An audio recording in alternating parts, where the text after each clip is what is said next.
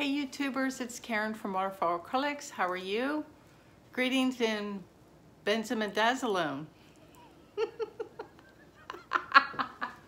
yeah, what the hell was she saying?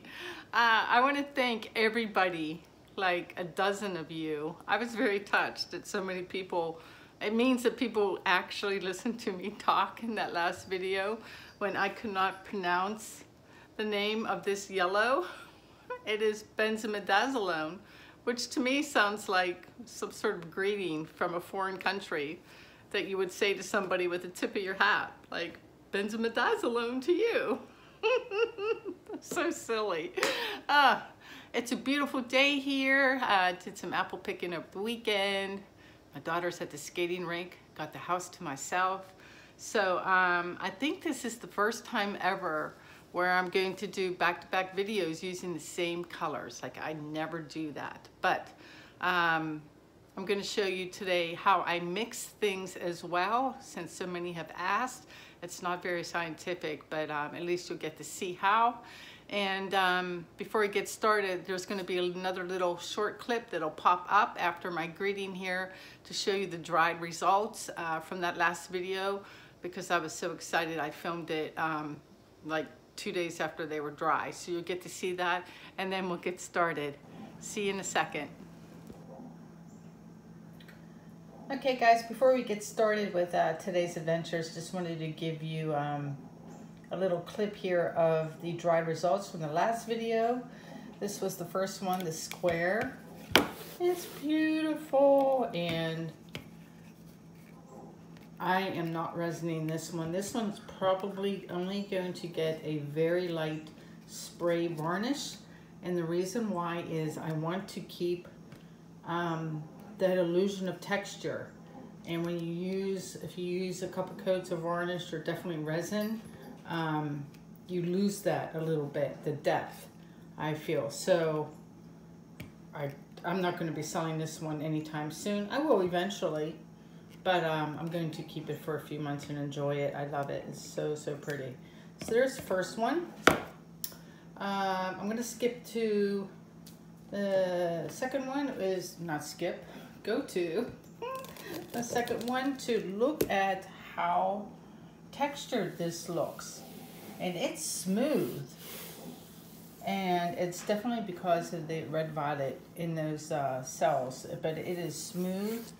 Um, quite blingy too from all the bronze. So if you're a bronze lover, um, with the turquoise, it just looks amazing. Sorry for the glare, but there's that guy. And then the bad news is, unfortunately, the third one, the little eight inch round, remember I had too much paint on it and I spun some of it out? It, um, it puddled. It puddled as it was drying um, and ruined um, all the lacing and cells in a bunch of areas and I had to scrape it. So I tried to redo it. And at the time, um, the, the primary color with the dark red cells is was the quinacridone violet, which I was out of. So now I have a brand new bottle and will be using this today. So I redid it using quinacridone magenta, um, but it gave it a completely different look. I mean, it's super pretty, don't get me wrong, you still get that illusion again. Um, with the pink and the bronze look amazing together, but it's not that it's not that second one. And I was sad. Uh, I bet you you guys would be sad too, hopefully. Um, this one though, really, really, let me get in close. Yeah. Like if I didn't know that other one had existed, I would be tickled pink with this one, but what are you gonna do?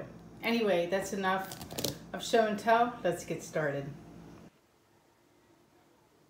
Okay, all set up.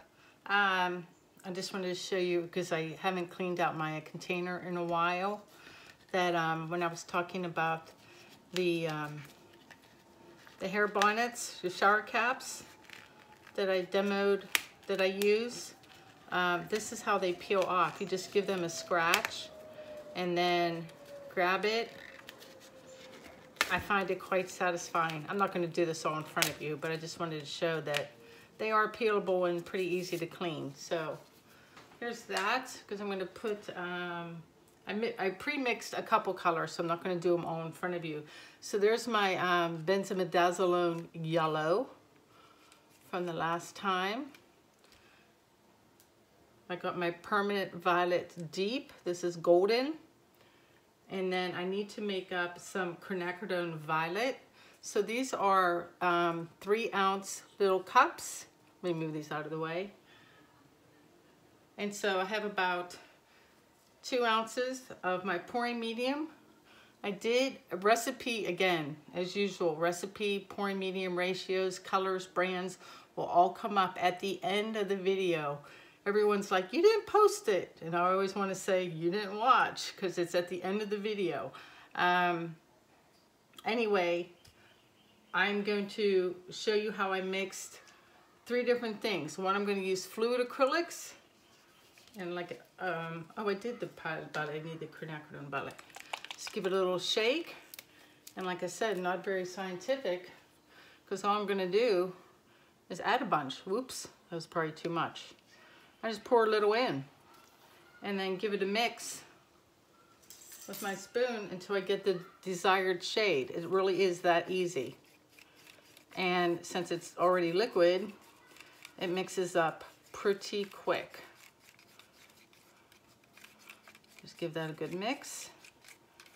And that's it. So there's no like real ratio because you're just adding drops until you get the shade you want. And don't mess with the consistency afterwards too. Whatever the pouring medium consistency is with my two to one ratio um, that I'll talk about in a minute, I leave it be. The only time I mess with it is for two paints, um, and which I'll show you in a minute. So that's the fluid acrylic, how I do it. And then for pigments, like today we're going to use the um, ColourArte Primary Elements. This is Ginger Peach. I put a dollop because the color dry doesn't always match the color wet. So it's always a good idea the first time you use it to put a little drop on your cap so you know the true shade of what it looks like. And then my ginger peach. Now my little spoons that I use, if you order ColourArte and there's a coupon or discount code in the description section, they come with little white spoons. I like my silver ones. I talked about that before. These are eighth of a teaspoon. Again, I'm just going to go in and get a scoop. Kind of like that. And dunk it in there. Pretty much. And we'll give this a good mix. Now this you do need to make sure it's mixed really well. You don't want errant clumps. They will show up in your artwork um, as little dots, little darker colored dots in your art if it's not mixed up well. And I'll see if I can find one. See the striations? Like you don't want that. You want to make sure this is really, really well stirred and dispersed into your pouring medium or your polypore, um, which is their pre-mixed pouring medium. Um, you want to make sure it's well stirred. So give that a stir for a second. Again, pretty, pretty easy. That's the uh, shade. It matches the shade on my lid good to go. So there was the fluid acrylics, there was a pigment, and then finally I'm out of bronze in a liquid form, so I'm going to use Amsterdam bronze um, today. So there's my cup. And basically what I do for here is I, I squirt out about an inch, you know, just like I just watch it, but I'm not going to do that. I'll be all, um, yeah, I will do that. Um, you can do it on a spoon if you want, however you like to measure. So this to me would probably be two spoons full. So there's one. We'll do one and see what that looks like, just so you can see. And this is going to be thicker because it's tube paint. And you'll be able to see like, oh, one tube wasn't enough because look how light that is. It's light and white and there's not enough paint to mix with the pouring medium. So I'm like, I definitely need a second spoonful. So I'm just gonna squirt some on there, like that, like a heaping spoonful. Stick that in there and give it a mix till it comes off the spoon and you'll see it get darker.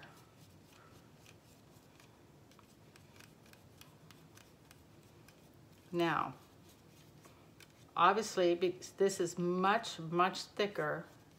I might add a little more too.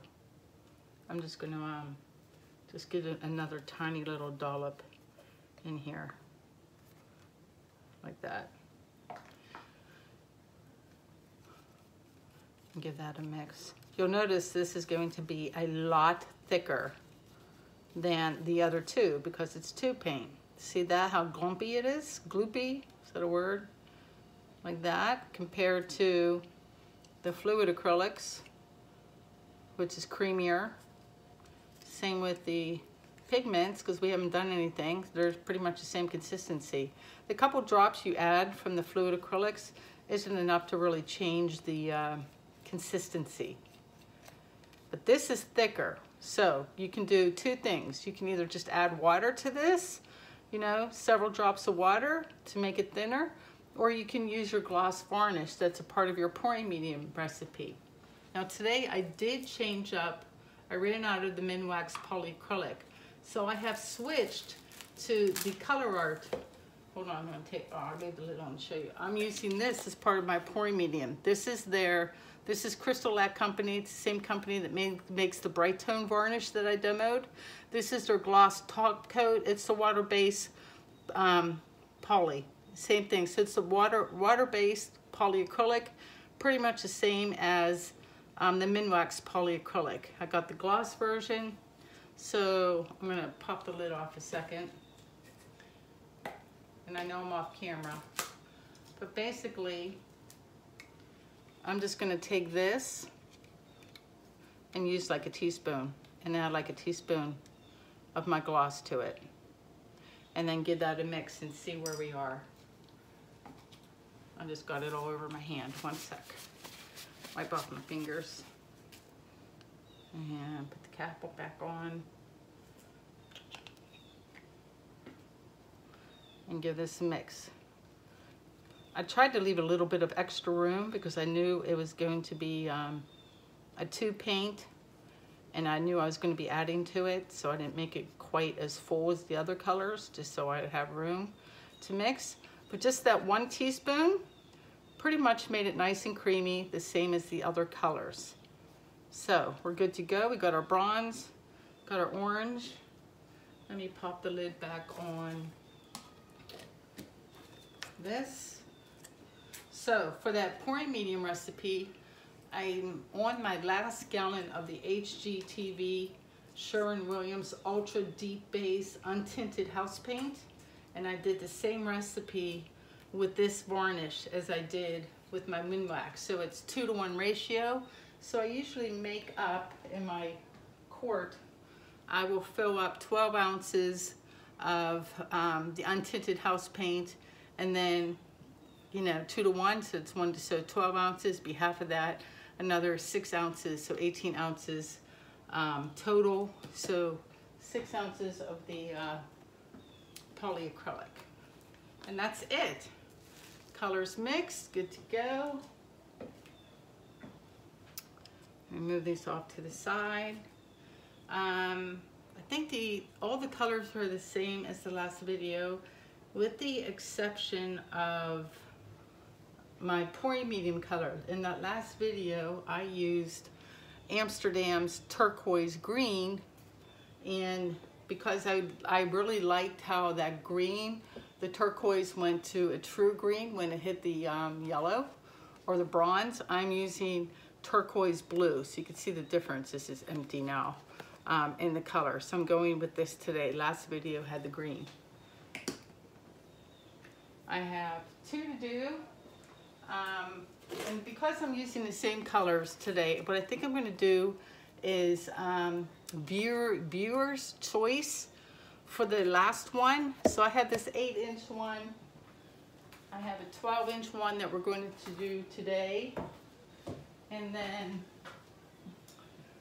for a future video, viewer's choice, that means I'm gonna post this on YouTube and on my Facebook page for this 20 inch round send me your color wishes, five colors, and I'm gonna pick one and we'll do it. Or maybe I'll do a, I'll take, maybe what I'll do is uh, take a bunch of suggestions and then take the top three and put them up for a vote. And viewer's choice, um, I will use the colors you guys suggest for this 20 inch round. I just think that would be fun. All right, you know, try to be interactive. So this will start off with my little eight inch round. Um, and I'm gonna turn the camera off for one second. I'm trying a new thing where I'm using two cameras in case I need to puff on it. You guys will be able to see me do that. Be back in one sec. okay guys, I'm back. I already had a mishap. I just cut it out. I um, I spilled some paint. That's all you need to know. Gonna, let's start with this first guy here. See how we do. Get our base coat down. And let's see what happens.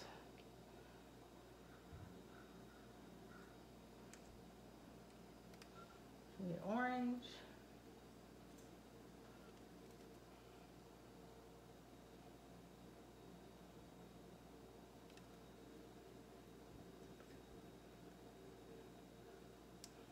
The yellow.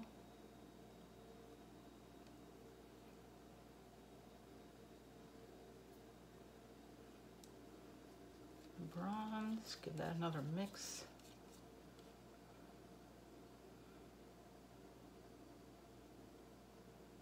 The bronze seems a little thick. We'll see how that works out. And then the violet.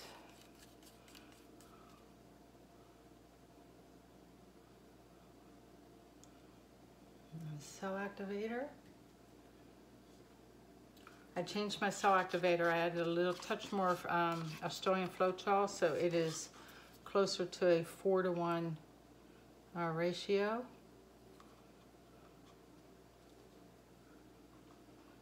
And sliding off. Make sure my little, I have like these little ridges at the bottom of my container, so I have to make sure my uh, spinner is on the ridges or it won't be level. That looks, no, stopped moving. All right, here we go.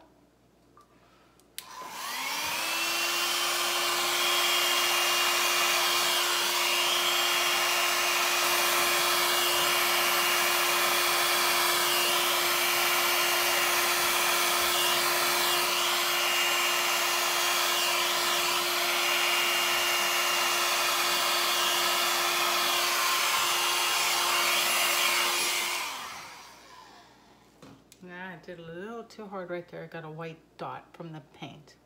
Give that a second.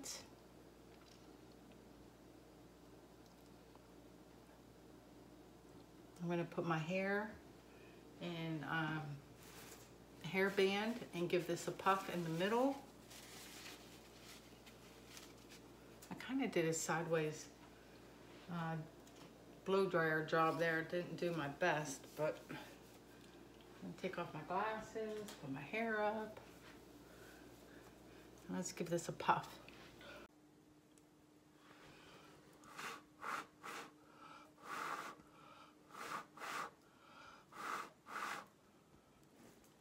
I might leave a lot of that blank and have some negative space in the middle.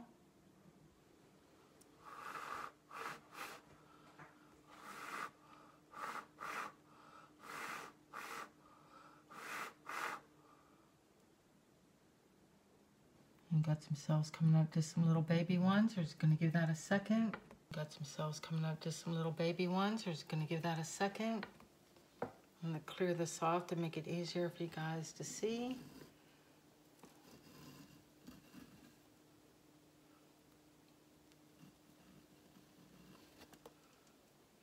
There we go. Yeah, I think I'm gonna leave that blue there. Yep. Maybe open up the cells a bit. I don't like this one right here. I'm gonna stick my finger in it.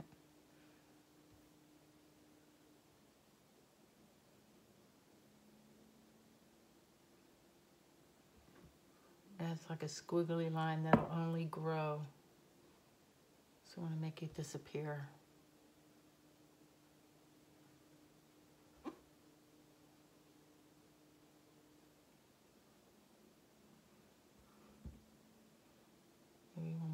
Much. All right, let's spin this out.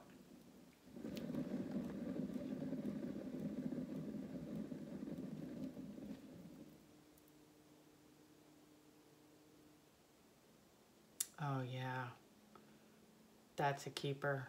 That's pretty. It looks like, I love, I love the blue lake. I like that a lot. I got a couple little white cells. When this dries, I will touch those colors up and make them orange. Or I have a paintbrush. It's like, got like three hairs on it that I will put dots on those three. But that's a keeper otherwise. Um, I'm a little worried that I have too much paint since I poured right over that other one. So I'm going to give it um, just another little spin. I don't want um, what happened in that last video, that last piece where it puddled. Like it looked great just like this and then over the next hour the paint went into the middle and ruined all the lacing. I don't want that to happen. So we're going to give that just a little bit of a spin. Just like that. That's ta-da! Yeah, that's really, really super pretty. Let me do this so you can see it. Someone was asking if I could make skins um, with the stuff on my tarp.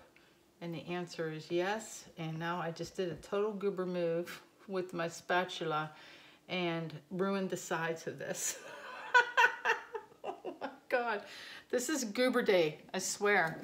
Just another little spin to get the paint to run down on the sides and fix it though. It should be easy enough. Hopefully. Yeah. That one's great. Let me um, put him to the side and we'll do the 12 inch one. Be right back. All right, take two.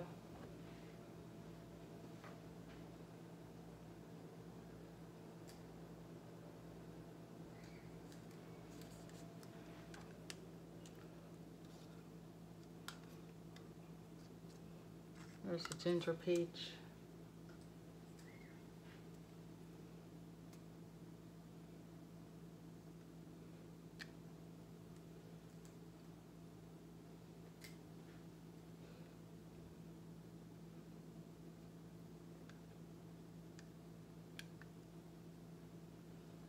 I don't know what I have filmed and what I don't. Quiet, it's because I'm really grumpy because this is take three and I had a beautiful painting and then went to point out something to you guys and ran white white paint through it. And so I just scraped it. And so I'm grumpy because that was it was a pretty painting. All right. Last time, she tells herself optimistically. Large hair dryer this time. Cool air, medium fan.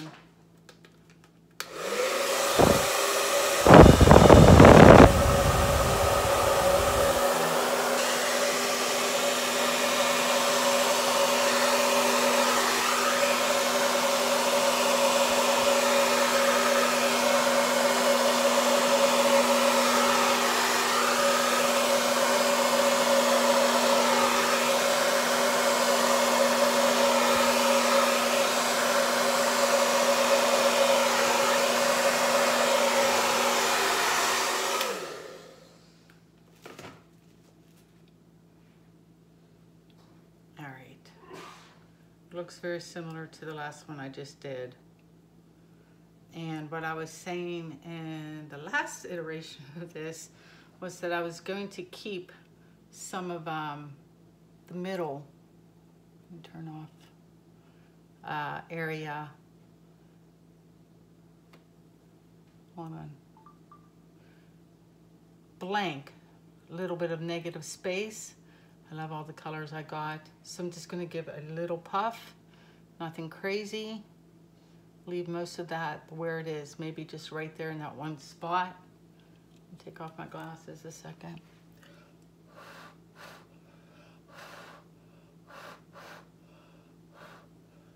That's it. That's all I'm gonna do. I'm gonna leave the rest of that blank. Let that collect a minute. I think this is gonna open up color-wise when we give it a spin. Just give that another 10 seconds to pull puddle. It pulls in underneath. And then we'll give it a spin. It's almost there. I still see it moving.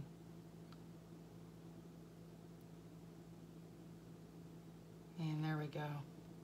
All right, just do a little spin to start. Okay, not that little.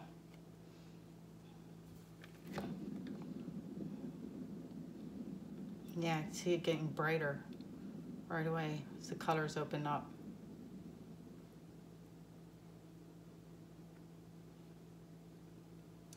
Might be serendipity because this one's prettier than the last one, thankfully.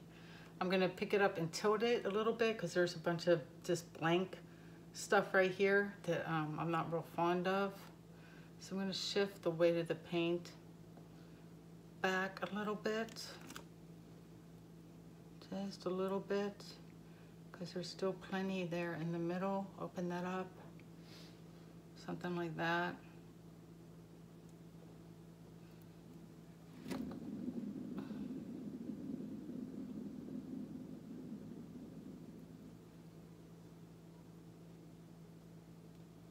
Let me stop and stare. The uh, turquoise blue did not change color um, the way that I thought it would. It pretty much stayed, oh, it did a little bit in some places. It went green where it hit the yellow, but um, mostly it held its own. I kind of would like to bring this all the way over. Let me go.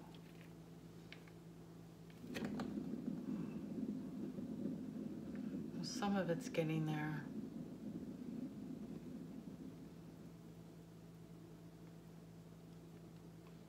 Yeah, is that opening up more? I think one more and I'll be good to go. That was one B. Did that do it though? Nope.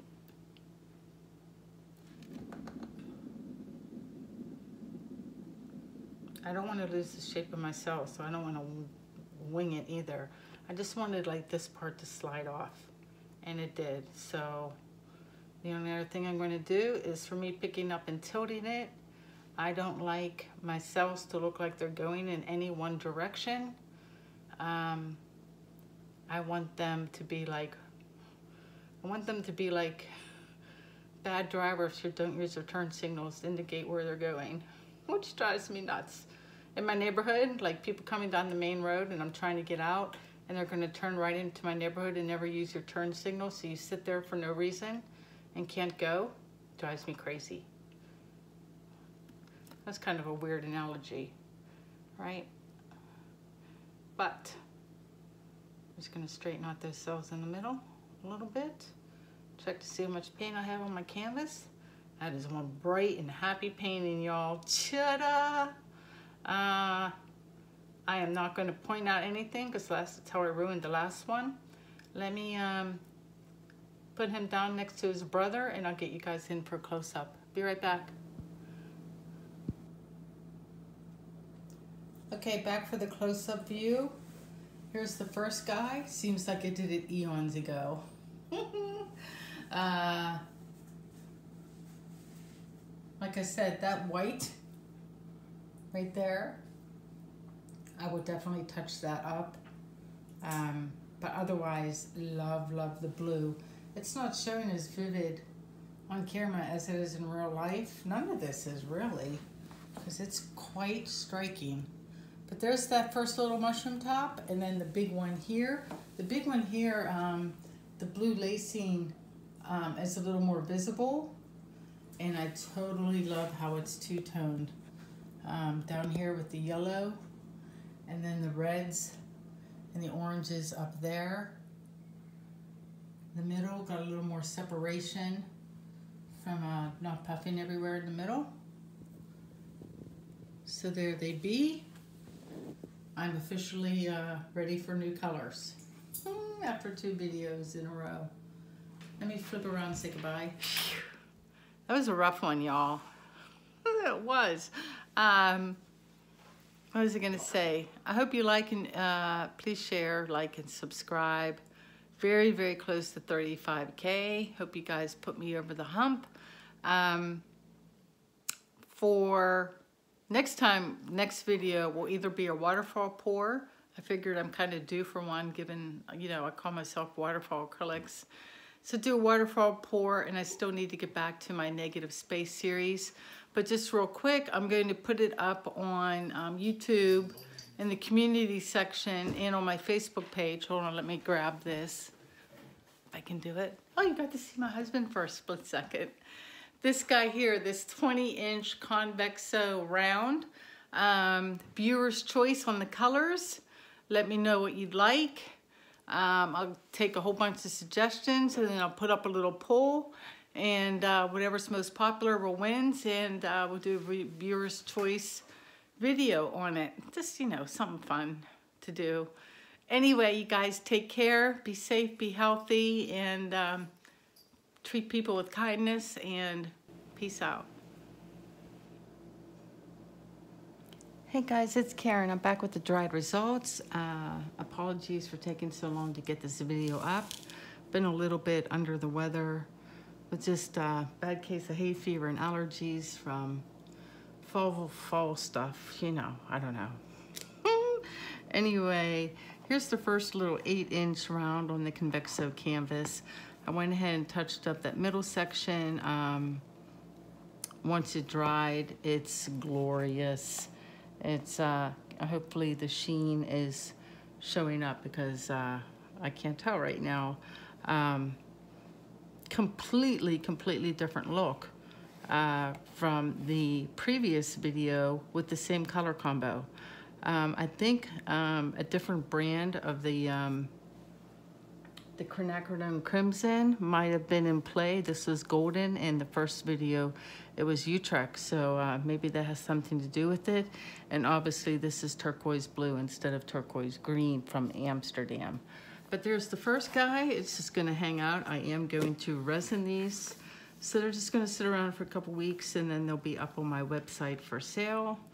Uh, the second one, the 12 inch one, also, I don't quite trust this middle for me to touch it. I can touch all around, but you know, better safe than sorry. Uh, it also dried really great though. Very, very vivid. Um, very, very striking piece, I think.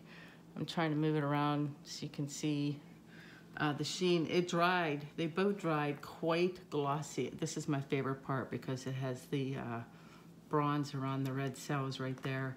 Um, yeah, dried very glossy and just hanging out. If you're interested in either piece, shoot me an email at waterfallacrylics at gmail.com and you can snag it and probably get a little bit better of a price than you would on my website. I'm just saying.